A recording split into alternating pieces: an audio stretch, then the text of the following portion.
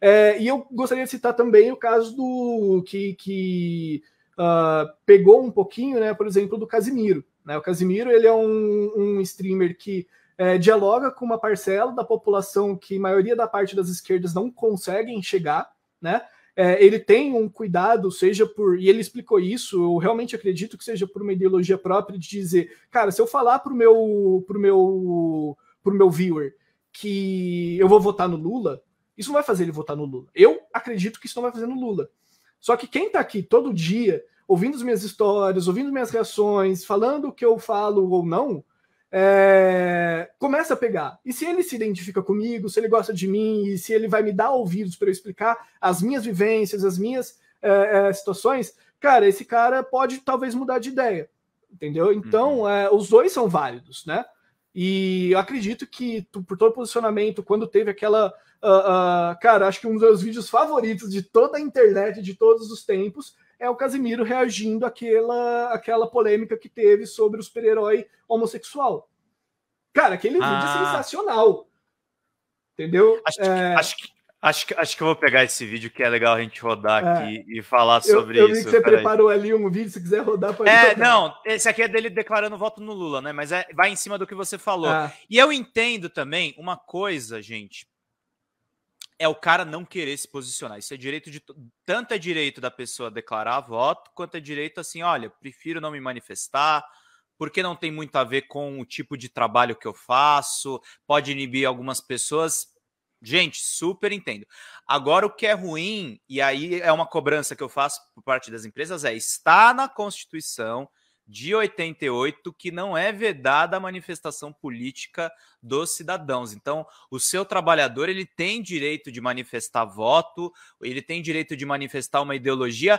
Até, e a gente nem está falando aqui, é, falando tecnicamente, porque eu converso com cientistas políticos, eu, eu sou formado em filosofia, a gente não está nem falando das pessoas que acreditam em ideologias mais radicais ou extremistas. Eu estou falando da manifestação ideológica dentro do jogo democrático. O problema é que o capitalismo está num tal estado que nem a manifestação legítima da sua ideologia. Eu sou, por exemplo, social-democrata. Eu não, eu não posso falar porque senão eu vou ser chamado de comunista. Tipo, é péssimo isso.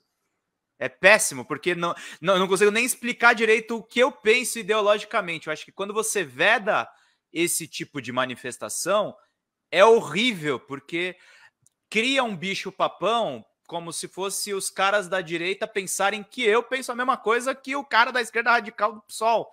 E não tem nada a ver uma coisa com a outra.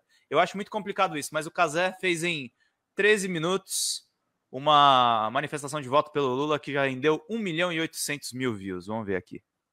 Eu vou votar no Barba, não tem jeito, tá ligado? Porque se o Bolsonaro tá de um lado, eu tô do outro. Mas eu entendo a pressão da galera, tá ligado? Só que a galera não entendeu que eu não. Eu vou votar no Barba, porque se o Bolsonaro tá de um lado, eu tô do outro. E é isso.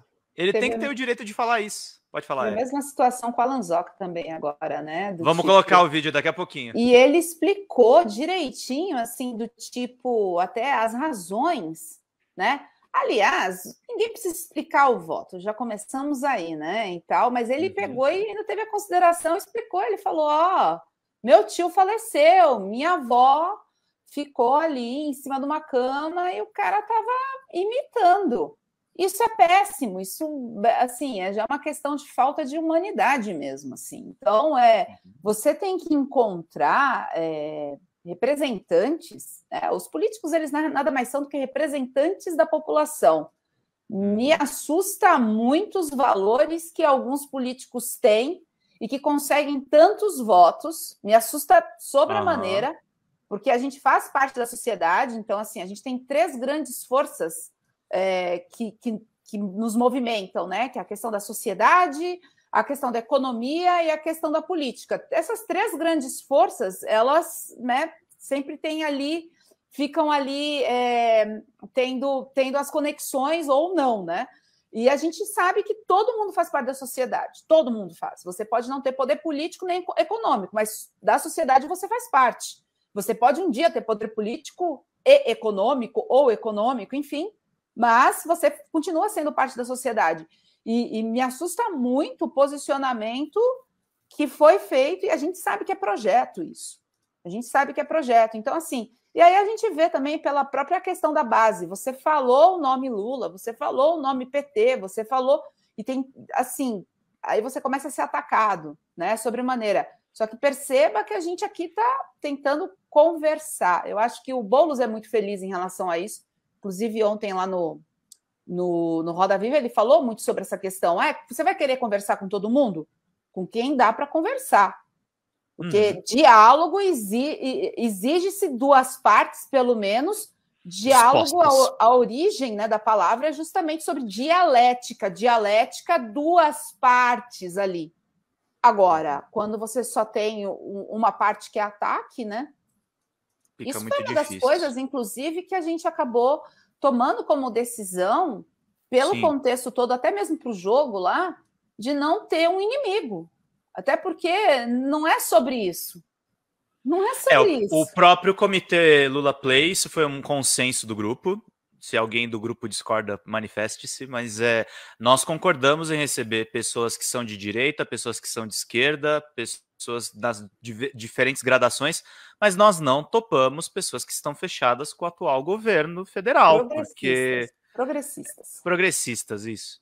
Mas é, mas assim, tem pessoas que são críticas ao PT que estão no grupo e não, eu não vejo problema nisso necessariamente. Agora, é, a gente não está fechado com essa coisa que a gente estava falando agora há pouco, né? Que são pessoas que não são profissionais de games, mas têm uma certa habilidade com o setor, enganam todo mundo e não há uma discussão franca entre o mundo político e, o, e os especialistas mesmos do setor. Acho que a gente procurou isso e estamos tendo algum êxito legal. Antes de mostrar o Alanzoca, que foi um, um, vídeo mais pesado, eu vou mostrar só um pouquinho do Casimiro, porque eu quero que a gente dê umas risadas, umas gostosas risadas, vendo o Casé falando no quadrinho homossexual. É, é 18 minutos, mas eu vou mostrar só um pouquinho. Tá na série B, pô, Ortego, caralho. Tá de sacanagem, porra. Tá brincando, pô. Porra. Isso aqui dá, gasta dinheiro com merda. Boa noite, Pode no saco. Primeiramente, porra. fora Bolsonaro, genocida. Deu... E... e o que você e... achou Derrubou sobre e... a demissão do Maurício? O do Maurício? Eu acho que ele foi muito bem demitido. Otário de marca maior. Tem o que fazer. O cara, ele, a galera confunde dar. O... Irmão, olha só, já falei isso aqui, cara. Porra, é foda, tá? Aliás, importante dizer: esse Maurício foi eleito deputado, tá, gente? Essa é a maior tristeza desse vídeo. Eu não quero ficar. Já falei sobre isso. Quem quiser entender, entenda. Quem não quiser entender, irmão, simples assim. A galera tem que entender que a opinião de uma pessoa pública, a opinião de uma pessoa pública, ela. ela... Ué, o juiz não deu pênalti? Ué, o Fortaleza empatou? A opinião. Ué. o TDAH. É. A opinião de uma pessoa pública. Ela. Multitask total. É. A opinião de uma pessoa pública, ela reverbera um pra caralho, tá ligado? Então, se eu chegar aqui e fizer um, uma, uma, uma, um discurso que incentive o preconceito, porque incentiva o preconceito, tá ligado? Aonde nós vamos parar com isto? Pô, irmão, tipo assim, caralho, cara, quando tu é moleque, eu, eu sou de uma época, eu sou de 90, né? 93. Quando você é moleque, você aprende, eu aprendi quando eu era moleque, que viado viado era uma ofensa. Eu sabia o que era viado. Eu sabia o que era viado. Tá ligado? Eu sabia. Viado era um cara que ficava com outro cara. Eu achava era ofensivo. Tá ligado? Eu aprendi que era ofensivo quando eu era moleque. Era uma zoação. Mas eu não podia ver um cara beijando outro homem, que aquilo ia me fazer ser um cara. Ai, meu Deus, eu não posso ver esse cara. Eu não podia aprender que aquilo era normal, tá ligado? Mas eu aprendi que aquilo era uma, que era uma ofensa. Entendeu? Eu não posso aprender que um cara pode gostar de um cara. Sacou? Mas eu posso aprender que o cara é... beijar um outro cara é algo depreciativo. Porque é isso que é ensinado para a maioria das crianças. Tá ligado? Porra, se você quiser ofender um cara, chama ele de viado, porra. Sacou? Você não pode ensinar para uma criança que existe isso, que isso é normal, que isso acontece. Que é, que é normal um cara beijar um cara, uma mulher beijar uma mulher. Você não tá ensinando nada. Ninguém me ensinou. Se, porra, se a minha família tivesse me ensinado a beijar alguém, de repente eu beijava cedo, né? Eu beijei quando eu fui velho, tá ligado? Ninguém ensina nada. Ninguém incentiva nada, tá ligado? Eu vi o Vasco desde pequeno, não virei jogador. Eu li eu, eu, lia quadrinho e não virei herói, tá ligado? Se a minha mãe virasse, se meu pai virasse para mim e falasse assim: estão num shopping, tem dois caras se beijando. Minha mãe fala para mim: Porra, isso é normal, filho. Filho, isto aqui é normal. Eu ia virar pra ela e falar: tá bom, mãe, porra, compra uma casquinha pra mim, por favor. Eu não ia virar pra mim e falar assim: é normal, mãe? Caralho, então me traz um homem aqui que eu quero chupar a pica desse cara agora, por favor. Isso não ia acontecer. Da mesma forma que se tivesse um cara beijando a mulher, eu ia falar assim: olha, filho, tem um cara beijando a mulher, tá vendo? Isso é normal. Eu ia responder por qual é, mãe? Pô, tem como comprar um Mac Colosso pra mim? Calda extra? Eu, eu ia falar isso quando era criança, tá ligado? Isso aqui também é política, tá, gente? Sabe, sabe o que, que não é normal? É um presidente da República dizer que todo mundo que quiser vir para cá pegar a mulher brasileira pode. Isso não é normal. Isso é falta de decoro. Sabe? É crime de então, responsabilidade, inclusive. Não, é uma coisa absurda isso. Então, assim, aí você vai pensar assim: ah, não, não, não tem como se posicionar. Peraí, gente, não tem cabimento isso. Existe, existe uma fala que eu que aí é, é a minha parte favorita desse vídeo, em que o Casimiro ele pega e fala sobre essa onda que tá tendo, né, de, de é, ficar questionando filmes, ficar questionando jogos que não fazem sentido, só querem lacrar e não sei o que, todo esse discurso, né? Que aí ele fala, pô, mas qual que vai ser a história para você fazer, achar que é normal um, um super-herói ser gay, né? Cara, ele é.